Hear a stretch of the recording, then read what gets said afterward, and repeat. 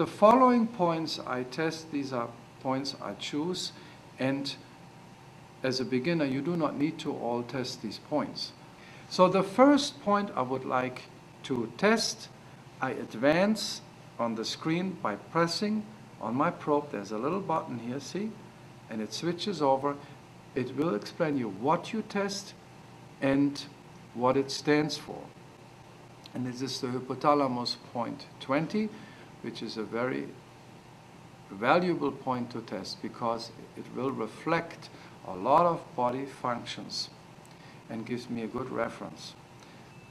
The hypothalamus point 20 is located approximately a little less than an inch above the ear. You see where the lobe is attached here to the skin?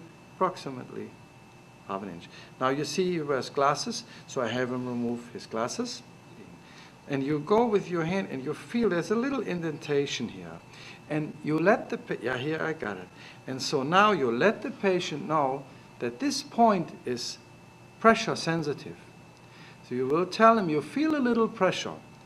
If you don't tell him that and you just go to it, he may feel that, is, that it's painful and he will start complaining. But when you let him know you will feel some pressure, he's already said, and he said, oh, it's okay, it will not be a big deal. So that helps, helps you. And because of the hair, and I definitely use some water. So I dig my probe in the water. And I dig my point in here, and nothing is happening. Oh, what's happening? Is the machine broken? Oh no, I see he holds his glasses in his hand and he forgot the hand electrode. And this will happen sometimes. Okay, now we're good. We all set. We use some water. And I wiggle myself in there. And you see how this reading shot up? It's a nice steady reading. And we have an 83. It's a good reading. The hypothalamus point should be 80. How do I stabilize myself when I take a reading? You can cradle his head so that he cannot move and hold him that you, you yourself, you have to be always comfortable when you take a reading. That is very important. So I have him, uh, I have this under control right now. And then I dig myself up. Here you go. I repeated the same reading. It has to be reproducible. Your readings have to be reproducible, of course, with slight variations. Very good. What we have, almost 83.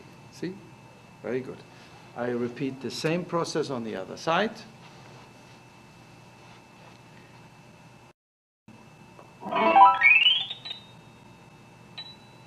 Yeah, very good. I'm pleased with this. Now, the hypothalamus point is a very interesting point because I refer to it as the captain, the captain of the ship. So, if there's a problem in the hypothalamus, and then you find all different other abnormal readings, it could be that the captain gives the wrong commands to the crew.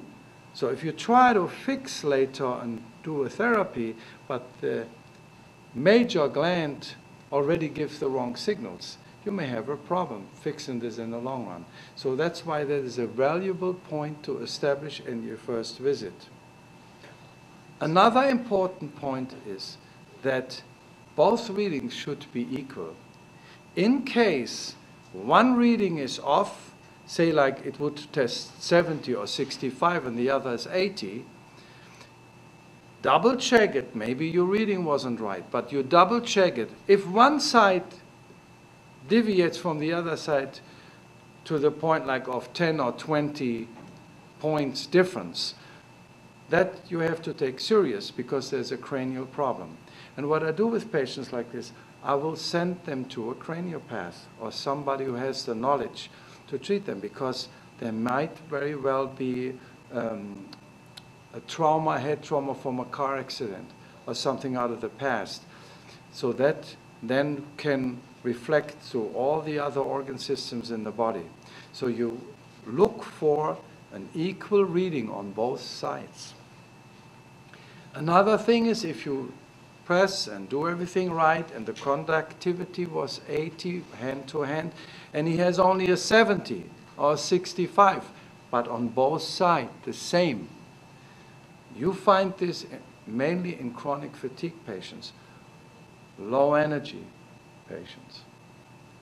If you see very high readings, like 90, 100 reading at the hypothalamus point, that could be due to over-medicated pres with prescription drug. It could be, there could be an infection in the teeth. And sometimes you even find people maybe who take recreational drugs, such as cocaine or something like this. You can see this too.